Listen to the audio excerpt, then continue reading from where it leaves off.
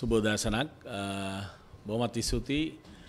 සියලුම් මාධ්‍යවේදී මහත් මහත්මින්. ඒ වගේම මැතිවරණයෙන් පස්සේ සමගි ජනබලවේගේ පක්ෂ මුලස්ථානයේ පැත්තෙන මාධ්‍ය හමුවේ පළවෙනි මාධ්‍ය හමුව මම සහභාගි වෙන. විශේෂයෙන්ම මැතිවරණයේදී ඡන්ද දීපු ඒ වගේම අනිකුත් සියලුම දෙනාට මේ සඳහා සහාය දුන්න ඡන්දදායකයන්ට ඒ වගේම මාධ්‍ය විශාල වශයෙන් මේ මැතිවරණයේදී කොරෝනා තත්ත්වය තුළ ජනතාව අතරට යන්න අපිට විශාල සහයක් ලබා දුන්න අපේක්ෂක හැටියට ඒ පිළිබඳවත් අපේ ස්තුතිය ප්‍රකාශ කරමින් ඒ වගේම ඡන්ද දීපු ජනතාවටත් අපේ ස්තුතිය ප්‍රකාශ කරමින් විශේෂයෙන්ම අද දිනේ ඉතාමත් වැදගත් දිනයක් මොකද හෙට දිනේ තමයි පාර්ලිමේන්තුව මේ මැතිවරණයෙන් පස්සේ මුල්වරට කැඳවන අවස්ථාව. ඉතින් වැදගත් අවස්ථාවක් හෙට දිනේදී පාර්ලිමේන්තු උදේවරුවේ කතානායකතුමා පත් කරනවා ඒ වගේම නියෝජ්‍ය කතානායකතුමා පාර්ලිමේන්තුවේ කාරක සභාවේ සභාපතිතුමා පත් කරනවා මේ වැදගත් කාරණා සියල්ලම හෙට උදේ අලුත් පාර්ලිමේන්තුව තුළ ඒ කියන්නේ නව පාර්ලිමේන්තුව සැසිවාරය ආරම්භ කරමින් සිදු වෙනවා. ඉතින් ඒ නිසා විශේෂයෙන්ම අපි කියන්න ඕනේ මේ වෙලාවේ රටේ ජනතාව පැහැදිලි ජනවරමක් රජයට ලබා දීලා තියෙනවා. රජයේ ඉල්ලුවා තුනෙන් දෙකක් තුනෙන් දෙකක් රජයට ලබා දීලා තියෙනවා රටේ ජනතාව. ඉතින් ඒ අනුව අපි විශ්වාස කරනවා රටේ ජනතාවගේ බලාපොරොත්තු ඉටුවන ආණ්ඩුවක් එහෙම නැත්නම් පාලනයක් රජය විසින් ක්‍රියාත්මක කරයි කියලා. අපි පැහැදිලිවම සමගි ජන බලවේගයේ හැටියට ප්‍රධාන විපක්ෂය හැටියට අපි පැහැදිලිව කියන්න ඕනි රටේ ජනතාවට ඔබ ලබා දීලා තියෙන ජනවරම උඩ රජයේ ක්‍රියාත්මක කරන සියලුම හොඳ කාර්යයන් හොඳ කාර්යයන් හැටියට අපි විශ්වාස කරන රටේ ඉදිරිය ජනතාවගේ පැවැත්ම වෙනුවෙන් රජය ගන්නා සියලු යහපත් කාර්යයන් වලට අපි සම්ප්‍රදායික විපක්ෂයක් හැටියට කටයුතු කරන්න අපි බලාපොරොත්තු වෙන්නේ නැහැ. අපි බලාපොරොත්තු වෙනවා ඒවට අපේ සහායත් ලබා දෙන්න. ජනතාවට තමන්ගේ ජනතාවගේ ආර්ථික තත්ත්වය ජනතාවගේ අද ඉන්න ජීවන තත්ත්වයට වඩා ඉහළ තැනකට ගේන්න රජය ගන්න සියලු ක්‍රියාමාර්ග වලට අපේ සහයෝගය අපි ලබා දෙනවා. ඒ වගේම පැහැදිලිව කියන්න ඕනි රට ඉස්සරහට ගෙනියන්න රටක් හැටියට ඒ රට ඉස්රහට ගෙනියන්න ගන්න ක්‍රියාමාර්ගවලටත් අපි කොන්ද කෙලින් තියාගෙන රජයට අපේ සහයෝගය අපි ලබා දෙනවා. ඒ අපි ලබා දෙන්නේ විශේෂයෙන්ම අපි ජනතාවගෙන් පත්වන මහජන නියෝත්තයන් හැටියට රජයට අද ලබා දීලා තියෙන ජනවරමට ගරු කරමින් ඒ ජනතාවගේ අවශ්‍යතා ඉටු වෙන සෑම මොහොතකම අපේ සහය අපි ලබා දෙනවා. හැබැයි ඒ වගේම කියන්න ඕනි විපක්ෂයක් හැටියට රටේ ජනතාවට අහිත කර රටට අහිත කර යම් කාර්යයක් ආණ්ඩුව ක්‍රියාත්මක කරනවා නම් අපි කොන්ද කෙලින් තියාගෙන ඒකට විරුද්ධව අපි පාර්ලිමේන්තුව තුළ නැගී හිටනවා වගේම පාර්ලිමේන්තුවෙන් පිටතත් අපි මහජන නියෝත්‍ය හැටියට ඒ අපිට කරන්න පුළුවන් උපරිමයෙන් රට වෙනුවෙන් ජනතාව වෙනුවෙන් ඒ කළ යුතු කාරණා අපි ඉෂ්ට කරනවා කියන එකත් පැහැදිලිවම කියන්න ඕන. ඉතින් විශේෂයෙන්ම අපි වග කියන්නේ ජනතාවට ඒ නිසා රටේ ජනතාවට හිතකර සියලු කාර්යන්ට සහය දෙනවා වගේම අහිතකර සියලු දේවල් වලට අපි ජනතාවගේ පැත්තේ ඉඳලා රට පැත්තේ ඉඳලා අපි ප්‍රධාන විපක්ෂය හැටියට කටයුතු කරනවා කියන එක පැහැදිලිවම කියන්න ඕන. මොකද මේක ඉතාමත් වැදගත් හෙට පාර්ලිමේන්තුව ආරම්භ වෙන දිනේට කලින් දවසේ තියෙන මාධ්‍ය සාකච්ඡාවේදී අපි පැහැදිලිවම කියනවා අපි ඊයේ දිනේ අපේ පාර්ලිමේන්තු කණ්ඩායම රැස් වුණා. ඒ අවස්ථාවේදී අපේ පක්ෂේ නායකතුමත් ඒ වගේම අපේ සියලුම පාර්ලිමේන්තු මන්ත්‍රීතුමන්ලා පැහැදිලිවම සාකච්ඡා කරු ප්‍රධානම කාරණාව තමයි මම මේ ඉදිරිපත් කරේ. ඉතින් ඒ නිසා අද අපිට අපේ ඉන්න කණ්ඩායම අද ඩීල් සහ වෙනත් ගනුදෙනු තියෙන කණ්ඩායමක් නෙවෙයි. ඒ නිසා අපිට පැහැදිලිවම කියන්න පුළුවන් මේ කාරණාවේදී අපිට රජයත් එක්ක ඩීල් එහෙම නැත්නම් වෙනත් ගනුදෙනුවක් අපිට නැහැ. අපිට තියෙන්නේ ජනතාවත් එක්ක තමයි ගනුදෙනුව තියෙන්නේ. ඒ නිසා අපි නව පක්ෂයක් හැටියට විශේෂයෙන්ම මාස 6කට අඩු කාලයකදී අපි ආරම්භ කරපු පක්ෂයක් හැටියට අපි දැක්කා මේ මාස 6නුත් මාස 3ක් විතර අපිට කොරෝනා එහෙම නැත්නම් COVID-19 වසංගතය තුල අපිට නිස්සද්දව ඉන්න උනා. එමන ඉතාමත් කෙටි කාලයක් තුළ බිහිවෙච්චි පක්ෂයක් හැටියට පාර්ලිමේන්තුවේ මන්ත්‍රීතුමල්ලා 54 දෙනෙක් ලබා ගන්නවා කියන්නේ විශාල දැවැන්ත තත්ත්වයක්. අපි මේකෙන් සෑහීමටපත් වෙනවා කියනව නෙමෙයි. අපි ඉතිහාසය බැලුවාම දැන් 50 බණරාගේ මැතිතුමා එළියට ඇවිල්ලා එතුමාටත් මං හිතන්නේ පුළුවන් වුණේ ඉතාමත් මුල් වතාවට පාර්ලිමේන්තු මැතිවන්නේ මන්ත්‍රී සංඛ්‍යාව ඉතාම අඩු සංඛ්‍යාවක් ලබා ගන්න. දෙවෙනි වතාවේ තමයි එතුමා ආණ්ඩුවක් පිහිටුවේ. ඒ නිසා අපි පැහැදිලිවම කියනවා අපිට සම්පූර්ණයෙන් සතුට වෙන්න බැරි වුණත් සමගි ජන බලවේගයේ හැටියට අපේ රටේ දේශපාලන ඉතිහාසය තුළ ඊටාම කෙටි කාලයක් තුළ මන්ත්‍රීවරු 54 දෙනෙක් ලබාගෙන ප්‍රධාන විපක්ෂය හැටියට පත් වෙන්න ලැබීම එක්තරා ජයග්‍රහණයක්. ඉතින් ඊළඟ අවස්ථාවේ අපිට මේ මේක තව ඉස්සරහට අරන් ගිහිල්ලා ඊළඟ ආණ්ඩුව හදන්න. එහෙම නැත්නම් ඊළඟ කාල සීමාව තුළ අපිට ජයග්‍රහයි මාවතක් මේ රටේ ඇති කරන්න පුළුවන් කියන එක අද ජනතාවට අපි ඒත්තු ගන්නලා තියෙනවා. ජනතාවත් පිළි අරන් තියෙනවා. කෙටි කාලයක් තුළ මේ රටේ විපක්ෂය හැටියට මාස හයක් තරම් කෙටි කාලයක් තුළ සමගි ජන බලවේගය පත් කරන්න ජනතාව අපිට මන්ත්‍රී සංඝයා පනස් සතර දක්වා ලබා දෙන්න අවශ්‍ය කටයුතු කරලා දින ඒ පිළිබඳත් අපේ ගෞරවයසා ස්තුතිය ජනතාවට පුද කරන්න ඕන.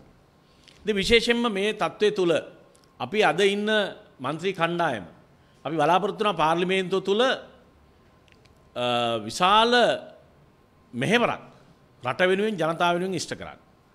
ඊයේ දිනේ අපේ පැවැත්තුණු කණ්ඩායම් රැස්වීමේදී පැහැදිලිවම සියලුම മന്ത്രിතුමන්ලා එකඟ වුණා. නිරන්තරයෙන් පාර්ලිමේන්තුවට පැමිණලා ඒ පාර්ලිමේන්තුවට මේ අමාරු වෙලාවේ අපිව පත් කළා වූ ජනතාව වෙනුවෙන් රට වෙනුවෙන් අපිට කරන්න තියෙන සියලුම කාර්යභාරයන් කැපවීමෙන් ඉෂ්ට කරන්න අපේ සියලුම විපක්ෂයේ මන්ත්‍රීතුමල්ලා ඊයේ එකඟුණා කියන එකත් ඉතාමත් සතුටෙන් මතක් කරන්න ඕන. ඉතින් විශේෂයෙන් මේ වෙලාව අපි දකිනවා අපි ජනාධිපතිතුමාට පැහැදිලිව මතක් කරන්න ඕනේ කාරණා කීපයක් තියෙනවා. එකක් තමයි මැතුවන්න සමයේදී දැන් කුරුණෑගල අපි නියෝජනය කරන ප්‍රදේශය වුණාට මුළු රටටම බලපාන ඉතාමත් වැදගත් කාරණාවක් මේ බුවනක දෙවන බුවනබා රජතුමාගේ රාජමණ්ඩපය විනාශ කිරීම සම්බන්ධයෙන් දැන් මේ වෙනකොට ඒකට අධිකරණයෙන් වරෙන්තු නිකුත් කළා තියෙනවා. ඒ වගේම තවත් අධිකරණයකින් ඒක අත්හිටවලා තියෙනවා. ඒ කොහොම වුණත් ඊයේ පෙරේදා වෙනකොට කුරුණෑගල නගර සභාව මේ නඩු කටයුතු සඳහා නගර සභාවේ මුදල් ලක්ෂ 22ක් වෙන් කරලා තියෙනවා. දැන් මේක කුරුණෑගල මහජන විශේෂයෙන් මහජනතාවගේ බදු මුදල් මේ නීති අනුකූල නොවන කාර්යයකට යොදවලා විශේෂයෙන් මේ උපදෙස් ලබා දීලා නගරාධිපතිතුමා ඇතුළු ඒ කණ්ඩායම මේ කරපු විනාශයට නගරේ ජනතාවගේ බදු මුදල් වෙන් කිරීම සම්බන්ධයෙන් අපේ දැඩි විරෝධය ප්‍රකාශ කරනවා. ඒ වගේ මේ සම්බන්ධයෙන් නීතිය ක්‍රියාත්මක වීම සම්බන්ධයෙන් ප්‍රමාද වීලා මේ දක්වාත් ඒක හරියට ක්‍රියාත්මක නොවීම සම්බන්ධයෙන් අපේ දැඩි කනගාටු ප්‍රකාශ කරන මොකද උරුමය අපේ අපේ අපේ උරුමයක්. විශේෂම කුරුණෑගල දෙවන බුණකබා රජතුමා කියන්නේ කුරුණෑගල රාජධානී ආරම්භ කරපු රජතුමා. එතුමාගේ රාජමණ්ඩපය කියන ස්ථානය මේ විදිහට ඩෝසර් කරලා විනාශ කිරීම සම්බන්ධයෙන් රජයක් හැටියට මොකද උරුමය ආරක්ෂා කරන්න ආපු රජයක් හැටියට අපි පැහැදිලිවම කියනවා මේ දක්වා නීතිය නිසියාකාරයෙන් ක්‍රියාත්මක නොවී ඒ වැරදි කරවුන්ට දනුවන් ලබා නොදී තිබීම සම්බන්ධයෙන් විශාල අප්‍රසාදයක් මහජන්‍යෝත්තර අපි තුළත් ජනතාව තුළත් ඒ ප්‍රදේශයේ තියෙනවා කියන එක පැහැදිලිවම කියන්න ඕන. ඒ නිසා මෙවැනි තත්ත්වයක් රටේ ජනතාව කොයිම මොහොතකවත් බලාපොරොත්තු වෙන්නේ නැහැ. මෙවැනි රජයකින් ජනතාව බලාපොරොත්තු වෙන අපේ රටේ උරුමය ආරක්ෂා කිරීම මෙවැනි කාරණා කවුරු කරත් ඒ කොයි තරාතිරමේ බුද්ධලේ කරත් ඒ අයට නිසි ආකාරයෙන් නීති ක්‍රියාත්මක කරන්න කියන එක තමයි අපි මේ වෙලාවේ ජනාධිපතිතුමාට මතක් කරන්නේ. ඉතින් ඒ වගේම තමයි අද 19 වෙනි ආණ්ඩුක්‍රම විවාස්සාව ගැන විශාල වශයෙන් කතා කරන අවස්ථාවක්. අපි දැක්ක ආණ්ඩුව පාර්ශවයෙන් මාධ්‍ය තුල 19 වෙනි ආණ්ඩුක්‍රම විවාස්සාව ඉතාමත් කඩිනමින් වෙනස් කරන්න බලාපොරොත්තු වෙනවා කියලා ආණ්ඩුවේ පාර්ශවයේ ප්‍රබලයන් ගණනාවක් කතා කරලා තියෙන මාධ්‍යයට. අපිත් විශ්වාස කරනවා දැන් මේ වෙලාවේ ආණ්ඩුවට තුරින් දෙකේ බලයක් තියෙන වෙලාවේ මේ විවස්සා සංශෝධනයකට ආණ්ඩුවේ යයි කියලා. දැන් ඇත්තටම ආණ්ඩු කරන විවස්ථාව සංශෝධනය කිරීමේදී යම් යම් කාරණා සංශෝධනය කිරීමේදී තුනෙන් දෙකේ බලයකින් පාර්ලිමේන්තුව තුළ ඒ කටයුතු ක්‍රියාත්මක කරන්න පුළුවන්. ඒ වගේම සමහර කාරණා ආණ්ඩු ක්‍රම විවස්ථාව තුළ සංශෝධනය කරන්න තුනෙන් දෙගේ බලයකට එහා ගිහිල්ලා ජනමත විචාරණයකට යන්න යන්න තියෙනවා. ඉතින් ආණ්ඩුව මංහිතන්නේ තුනෙන් දෙගේ බලයේ සීමාව ඉඳගෙන දහනවනි ආණ්ඩුක්‍ර විවස්සාාව සංශෝධනයට අයි කියලා අපි විශ්වාස කරනවා. හැබැයි ඒකෙදි පැහැදිලෝ කියන්න ඕන රජයට අපි දහනවන ආණුක්‍ර විවස්සාාව තුළ තින හොඳ කාරණ. දහන දහනවන ආණුක්‍ර විවස්සාාව යම් යම් අඩුපාඩු තියනවා කියලා අපිත් පිළිගන්නවා. නමුත් දහනවන ආණ්ඩුක්‍ර විවස්සාාවේ තියෙන හොඳ කාරණ ගණනාවක් තියෙනවා. ඒ රටේ ප්‍රජාචන්ත්‍රවාදය රටේ විවස්සාදායකයට තියෙන ඒ වගකීම් ඒ වගේම කොමිසන් සභා මෙන මේ කාරණාවලදී අපි දහනවෙන ආණ්ඩුක්‍රම විවස්සාවත් එක්ක ජනතාවගේ පැත්තට එහෙම නැත්නම් ප්‍රජාතන්ත්‍රවාදී පැත්තට ගොඩක් ඉස්සරහට ගිහිල්ලා තියෙනවා. ඉතින් මෙවැනි හොඳ කාරණා සම්බන්ධයෙන් අපි විශ්වාස කරනවා රජය ඒක ආපස්සට අරයි යන්නේ නැතුව මේ විවස්සා සංශෝධනය කරයි කියලා අපි විශ්වාස කරනවා. එක අපි ගත්තොත් විශේෂයෙන්ම අපි ගත්තොත් උදාහරණයකට දැන් ජනාධිපති 78 විවස්සාවේදී ජයා ජවද මැතිතුමා මේ විවස්සාව ගේනකොට වාර දෙකක් කියන එක ප්‍රධාන විවස්සාවේ සඳහන් කරලා තියෙනවා. ජනාධිපතිවරයෙකුට Tamanට නිල කාලය එහෙම නැත්නම් මැතිවරණ දෙකකට ඉල්ලලා නිල කාලයේ වසර 12කට ඒ කියන්නේ 6 6 12කට තමයි සීමා වෙලා තිබුණේ. ඒක ඊට පසු කාලෙදි මහින්ද රාජපක්ෂ මහත්තයා ඒක සීමාවන් අයින් කරා. 2015 දී ජනතාව ඒකට තීන්දුවක් දුන්නා. එතුමාව පරාජයට පත් කළා. ඉතින් ඒ නිසා අපි විශ්වාස කරනවා මේ දෙපාරක් කියන එක මම හිතන්නේ රටක ඉතාමත් වැදගත් දෙයක්. දැන් අද ජනාධිපති කාල සීමාව අවුරුදු 5කට සීමා කරලා තියෙනවා. එහෙනම් දෙපාරක් කියන අවුරුදු 10ක්. දැන් අද ලෝකේ ඕනම රටක් ගත්තාම අපි දකිනවා ඇමරිකාව වගේ රටක් ගත්තත් ජනාධිපතිවරයෙකුට ඉන්න පුළුවන් නිල කාලේ වසර ඒ කියන්නේ කාල දෙකයි අවුරුදු 4 4 8යි. වෙනත් රටවල් ගත්තත් එහෙමයි. ඉතින් එහෙමනම් මේ විදායක ජනාධිපති ක්‍රමයක් තුල අපි විශ්වාස කරනවා මේ අවුරුදු 5ක් කියන සීමාව ඉතාමත් වැදගත්. ඒ වගේම කාල වකවානු හැටියට දෙපාරක් කියන එකත් ඉතාමත් වැදගත් කියන එක අපි විශ්වාස කරනවා. ඉතින් ඒ තුල ඉඳගෙන මේ හොඳ ලක්ෂණ ඉතුරු කරගෙන විවස්සා සංයෝගයයි කියලා අපි විශ්වාස කරනවා වර්තමාන රජයේ.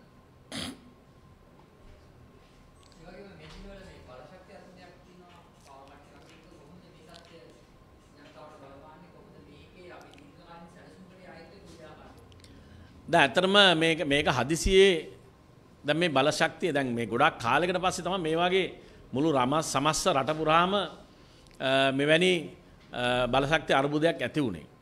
දැන් මම හිතන්නේ ඒක තාම විසඳ ගන්න බැරුව පැය ගාන කීපේ කීපේ කපනවා. ඒක හරියට මට කියන්න අමාරු එක එක ප්‍රදේශ වලට එක එක ආකාරයෙන්. ඉතින් මේක තුල අපිත් දැනගන්න කැමතියි. මොකද අපි අපිත් මේක දන්නේ ඊටමත් සුළු ප්‍රමාණයක්. ඉතින් අපිත් දැනගන්න කැමති අපිත් අහන්න කැමති රජයෙන් එහෙම නැත්නම් මේකේ බාරව ඉන්න අමාත්‍යවරයාගෙන් මේක යට කුමන්ත්‍රණයක් තියනවද? දැන් ඔබ අමාත්‍යවරයා හැටියට පත්වීම සම්බන්ධයෙන් යම් යම් අර්බුද තියනවද? එහෙම නැත්නම් ඇත්තටම තාක්ෂණික ප්‍රශ්නයක් නිසාද මේ සිද්ධ වෙලා තියෙන්නේ කියන එක දැනගන්න කැමති.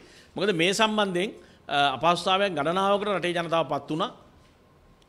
පැය ගානක් ඒ කියන්නේ පැය සමහර ප්‍රදේශවල පැය 24ක් විදුලිය තිබුණේ නැහැ සමහර ප්‍රදේශවල පැය 18ක් සමහර ප්‍රදේශවල පැය 12ක් මේ වගේ දීර්ඝ කාලයක් හදිසියේ මේ ඇතුණු තත්ත්වය තුල විශාල අපහසුකම් ගණනාවකට රටේ ජනතාවට මුහුණ දෙන්න සිද්ධ වුණා. ඉතින් අපි දැනගන්න කැමති රජයේ විශේෂයෙන්ම ඩලස් සලාපරම ඇමතුමාගෙන් මේ තත්ත්වය සම්බන්ධයෙන් පැහැදිලි කිරීම ඔබතුමා යම් යම් පැහැදිලි කිරීම් ගණනාවක් කරලා තියෙනවා. නමුත් මං හිතන්නේ ඒක හරි ආකාරයෙන් නිසි ආකාරයෙන් පැහැදිලි කිරීමක් හරියට ලැබිලා නැහැ. ඒ නිසා මේ තාක්ෂණික තත්ත්වයක්ද නැත්නම් දේශපාලන අර්බුදයක්ද මෙතන තියෙන්නේ කියන එක දැනගන්න රටේ ජනතාව හැටියට කැමැත්තෙන් ඉන්නවා.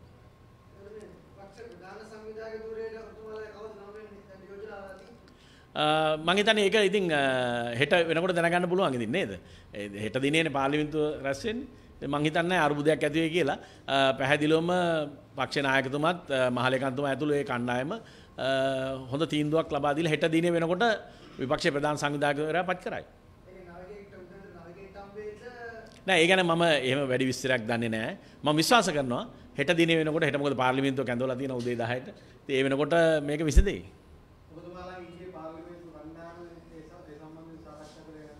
අනේ ඊයේ දිනේ ඇත්තටම පාර්ලිමේන්තු කණ්ඩායම් රැස්වීමේදී පැවැත්ුනේ උදේ ඉඳලා අපේ කණ්ඩායම රැස් වුණා ඒකෙදී පාලිමිතු කණ්ඩායන් රැස්වීමට කලින් අපි මන්ත්‍රීතුමල්ලට වැඩමුළුවක් පැවැත්තුවා. මොකද අලුත් මන්ත්‍රීතුමල්ලක් ඉන්නවා. ඒ වගේ හිටපු අය මේ සියලු දෙනාටම පාර්ලිමේන්තුව තුල කොයි ආකාරයෙන්ද අපි කටයුතු කරන්න කියලා. විශේෂයෙන් මේ අලුත් කොරෝනා තත්ත්වයත් එක්ක පාර්ලිමේන්තුව තුල කටයුතු කරන ආකාරය සම්බන්ධයෙන් ඒ වගේම විපක්ෂයක් හැටියට අපි කොයි විදියටද ඉදිරි කාල සීමාව තුල පාර්ලිමේන්තුව තුල මේ කටයුතු වලට මුහුණ දෙන්නේ කියන සාකච්ඡාව තමයි ඊයේ අපි ඒ වැඩමුළුවෙන් ගොඩක් අවධානය යොමු කරේ.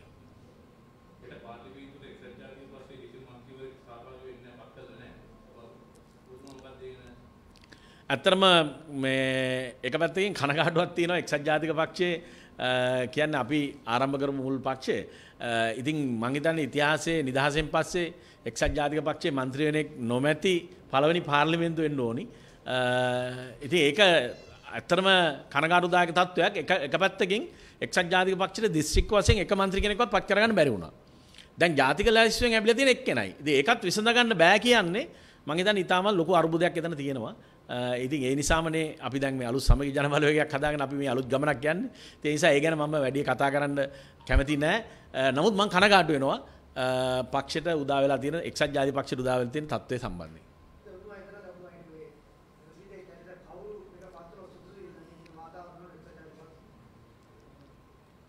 දැන් ඉතින් ජාතික ලැයිස් වෙන්න ඔය ඇවිල්ලා තියෙන එකක් මොකද 105ට අඩු නිසා එක දිස්ත්‍රික්කකින්වත් මන්ත්‍රී කෙනෙක් පත් උනේ නැහැ. ඉතින් ජාතික ලැයිස්තුවෙන් ඉඳලා ඉතින් මං හිතනවා රනිල් වික්‍රමසිංහ මහත්තයා ගියොත් හොඳයි කියලා. නේද? එතුමානේ ඉතින් පක්ෂ නායක ජාතික වශයෙන් ඡන්දේ ලැබුණාම ඉතින් එතුමාටනේ ලැබිලා තින්නේ ඡන්දේ නේද? මම දන්නේ මම මම හිතනවා එයා ගියොත් හොඳයි කියලා. නෑ ඔබ ඉතින් ඉතාම නිවැරදි අදහසක් දැක්ක එතුමා පාර්ලිමේන්තු රාජ්‍ය කියලා මම හිතනවා. අර කොහොමද ඔබ අදහසෙන් කියන්නේ මින් ඉදිරියට කිසිම හේතුවක් නිසා නැවතත් එක්සත් ජාතික පක්ෂය සමග ඔබලා එකතුව මැතිවරණයකට සටන් කරන්න සූදානමක් නැහැ. නෑ ඒක අපිට දැම්ම කියන්න බෑනේ මොකද ඕනම දැන් අපේ අපි සමගි ජන බලවේග කියන්නේ පක්ෂ ගණනාවක් එකතු වෙලා අපි මේ මේ මැතිවරණ ඉදිරිපත් වෙලා සන්දානයක් හැටියට මන්ත්‍රීවරු 54 දෙනෙක් අපි ලබාගෙන තියෙනවා. ඒ වගේම අපිට තව සහාය දෙන කණ්ඩායමකින් ඒතර මන්ත්‍රීවරු 57ක් විතර අපිට ඉන්නවා. එතකොට අපි ඉදිරි මැතිවරණයේදී දැන් අපිට දැන් තාම මැතිවරණ ඉවරුණා විතරනේ. ඉදිරි මැතිවරණයේදී අපිත් එක්ක එකතු වෙන ඕන පක්ෂයකට මං හිතන්නේ එක්සත් ජාතික පක්ෂයට කියලා බැරියර දාලා තියෙනවා කියලා. ඉතින් එයාලටත් අපිත් එක්ක එකතු වෙලා මේ ඊළඟ මැතිවරණයකදී මේ තරම් කරන්න පුළුවන්. ඉතින් අපි අපි සන්දානයක් ඇරියට අපි සන්දානේ පුළුල් වෙනකට අපි කැමතිනේ. අපි අකමැත්තක් නැහැ. අපේ වෛරයක් නැහැ. අපේ එහෙම කිසි ප්‍රශ්නයක් නැහැ. අපි කැමති අපේ සන්දානයේ සමගි ජන බලවේගය හැටියට තව තවත් පුළුල් වෙලා අපිට අවශ්‍ය ආණ්ඩු බලය ලබා ගන්නනේ. අපි ආණ්ඩු බලය ලබා ගන්න යන පළවෙනි වටේ තමයි මේ මැතිවරණය. ඉතින් බලන්න මේ මැතිවරණේ අපි අපි සතුටු ඒ කියන්නේ ඉතාමත් සතුටු නොවුනත් අපි කොළුඳුල් පක්ෂයක් හැටියට මාස 6ක් වගේ කෙටි කාලයක් තුළ හදපු පක්ෂයක් හැටියට මන්ත්‍රීවරු 54 දෙනෙක් අරගෙන ප්‍රධාන විපක්ෂ හැටියට පත් වෙනවා කියන්නේ ඒක ජයග්‍රහණයක්. අපි ඒකත් ඒක ඒ සම්බන්ධයෙන් අපි සතුටු වෙන්න ඕනේ එක පැත්තකින්. ඉතින් ඒ නිසා අපි යන ගමන අපි ඕනම දේශපාලන පක්ෂයක අරමුණ තමයි ආණ්ඩු බලය. ආණ්ඩු බලය අරගෙන රටේ ජනතාවගේ බලාපොරොත්තු ඉෂ්ට කරන්න. එතකොට සමගි ජන බලවේගය හැටියට අපි කොයිම වෙලාවකවත් කිසිම පක්ෂයක් එහෙම නැත්නම් කිසිම සංවිධානයක් අපි බැහැර කරන්නේ නැහැ. අපි සාකච්ඡා කළා ඒ පක්ෂවල ඉන්න ඒ ගුණාත්මකව ඒ තත්ත්වයන් ඒ වගේ හොඳ කණ්ඩායම් මේ වෙනකොටත් අපි සම්බන්ධ කරගන්නවා. ඉතින් ඒකේ ගැටලුවක් නැහැ. හැබැයි ඔබලා මැතිවරණයට පෙර පැහැදිලිව අපේ ප්‍රථම ඒකායන බලාපොරොත්තුව සිරිකොත අල්ලා ගැනීම කියලා. එතකොට ඔබතුමා මේ සිරිකොත අල්ලන්න යන්නේ සමගි ජන බලවේග පක්ෂයේ ඉතන ගියා යන්නේ. නෑ නෑ මම නම් කිව්වේ නෑ කොහොමත් මේ සිරිකොතල් නෑ නෑ නෑ පක්ෂයක් හැටියට කිව්වේ නෑ ඒක එක්කෙනාගේ පෞද්ගලික මත වෙන්නේ නැති. මොකද අපිට මේ තැන් තැන් අල්ලන්න නෙමෙයි තියෙන්නේ දැන්. අපිට දැන් ජනතාව ඡන්ද දීලා තියෙනවා විපක්ෂයක් හැටියට ප්‍රධාන. ඉතින් අපි ඒ අනුව කටයුතු කරනවා. ඉතින් ඒ හින්දා මම විශ්වාස කරනවා අපි යන ගමන ඉතාම සාර්ථක ගමනක්. ඉතින් මේකට එකතු වෙනවා නම් තවත් එක්සත් ජාතික පක්ෂ වෙන්න පුළුවන්, තවත් වෙනත් පක්ෂ වෙන්න පුළුවන්.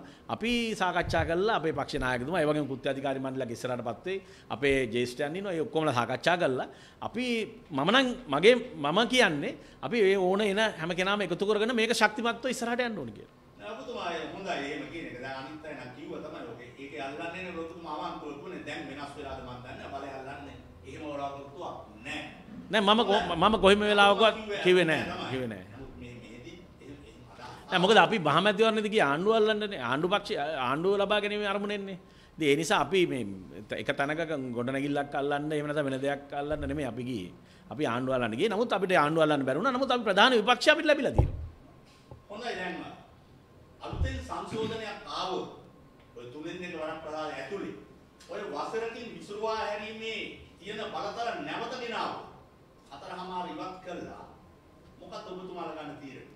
මෙහෙමයි මම මුලින් ඉඳන්ම කිව්වේ පැහැදිලිවම අපි රජය ගන්න ජනතාවාදී ඒ වගේම රටට හිත කර කාරණාවලදී අපි පක්ෂව ආණ්ඩුවට අපේ එකේ විරුද්ධත්වයක් අපි පාන්න අවශ්‍ය වෙන්නේ නැහැ ජනතාවට හිත කරනම් අපේ අපේ බලාපොරොත්තුව ජනතාව හොඳ තැනක තියන්න.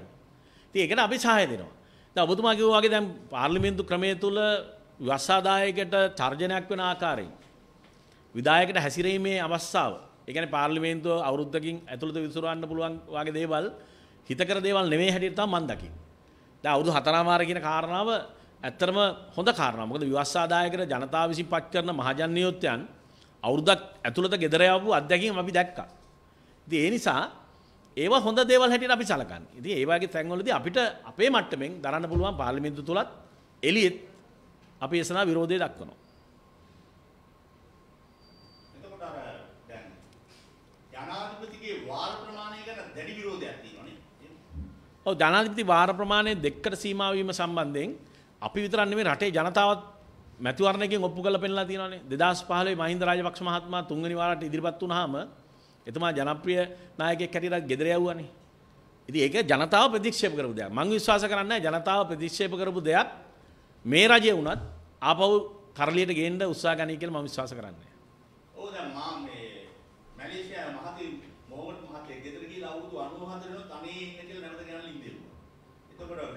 පුටින් ආ, චීනය ඒක යාව ජීව තත්ත්වයට පත් කරගෙන ඒගොල්ලෝ කියන් ඉන්නෝනේ. රටවල නෑ. මහතීර් මොහමඩ් මැත්තුමාගේ තත්ත්වය වෙනස් මංහිතන් එතුමා දීර්ඝ කාලෙකට පස්සේ ඒ අගමැතිවර හැටියටනේ දැන් ආවේ ඒ ජනාපති තත්ත්වය වෙන එතන තියෙන සාමාන්‍යයෙන් අගමැති වරුන් හැටියට ඉන්න ආණ්ඩුක්‍රම ව්‍යවස්ථාවල පරදිනවා ගෙදර යනවා ආයෙ පරදිනවා ආයෙනවා ඒවට දෙක දෙක- දෙකක සීමාවක් නැහැ.